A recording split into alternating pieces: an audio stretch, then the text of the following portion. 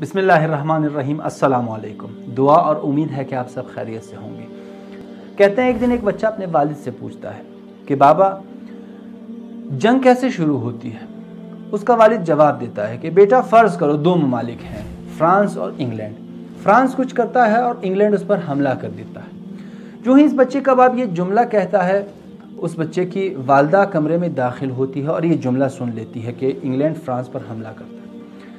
فوراً کہتی ہے کہ انگلینڈ کو کس نے حق دیا فرانس پر حملہ کرنے کی؟ انگلینڈ کی کیا حیثیت ہے فرانس پر حملہ کرنے کی؟ اس بچے کا والد کہتا ہے کہ ہم فرض کر رہے ہیں، میں اپنے بچے کو کچھ سمجھا رہا ہوں۔ اس کی والدہ کہتی ہے کہ تم غلط کر رہے ہو کہ فرض کر رہے ہو، یہ فرض بالکل غلط ہے۔ وہاں سے اس کے باپ کو غصہ آتا ہے وہ کہتا ہے، تمہیں ہمارے بات میں دخالت کرنے کا کرنے کا حق کس نے دیا ہے؟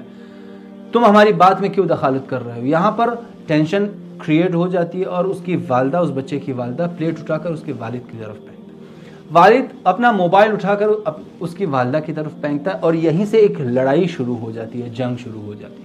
یہ سلسلہ کافی دیر تک جاری رہتا ہے۔ آخر بچہ چیخ چیخ کر کہتا ہے کہ، امی ابو، بس کیجیے، مجھے پتا چل گیا کہ جنگ کیسے شروع ہوتی ہے۔ مجھے پتا چل گیا کہ جنگ شروع کیسے ہوتی ہے۔ بظاہر تو یہ ہنسنے والی بات ہے، لیکن حقیقت میں یہ رونے والی بات ہے۔ کس لیے؟ اس وجہ سے کہ اکثر ہمارے معاملات، ہمارے رشتہ داریوں میں، ہمارے بہن بھائی کے رشتے میں، مختلف رشتوں میں جو مسائل پیدا ہوتے ہیں، جو کلیشز پیدا ہوتے ہیں، وہ اسی طرح کے کلیشز ہوتے ہیں۔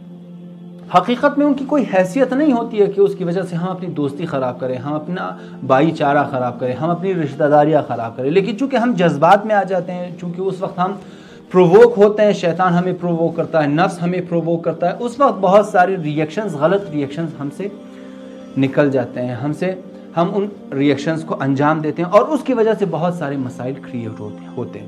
اگر ہم اس بات کو سمجھ جائے، کوئی مسئلہ پیش آتے ہی ہم فوراً بیٹھ کر سوچنے لگے کہ واقعی اس مسئلے کی اتنی حیثیت ہے کہ اس وجہ سے اس کی وجہ سے میں اپنی دوستی خراب کروں۔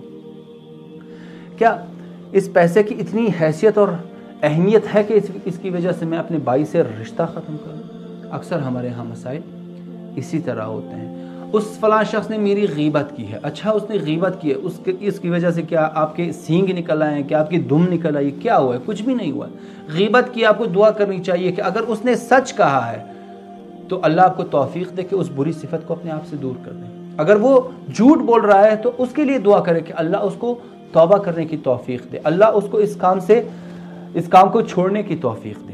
تو اس کے لیے جنگ لڑائی کرنا، جھگڑا کرنا، رشتہ داریاں خراب کرنا، دوستیاں خراب کرنا، شادیاں خراب کرنا، اس کی واقع حقیقت میں کوئی حیثیت نہیں ہے۔ تو ہمیں یہ صفت اپنے اندر پیدا کرنی چاہیے کہ کوئی مسئلہ پیدا ہو جائے تو ہمیں فوراً بیٹھ کر سوچنا چاہیے، اس پر فکر کرنی چاہیے کہ واقع اس کی اتنی اہمیت ہے کہ ہم اپنے رشتے کو خراب کریں، ہم اپنی دوستیاں خراب کریں، ہم اپنے تعلقات خراب کریں یا نہیں۔ اکثر امور میں ان چیزوں کی کوئی اہمیت اور حیثیت نہیں ہوتی ہے۔ ہم جذبات میں آ کر بہت سارے غلط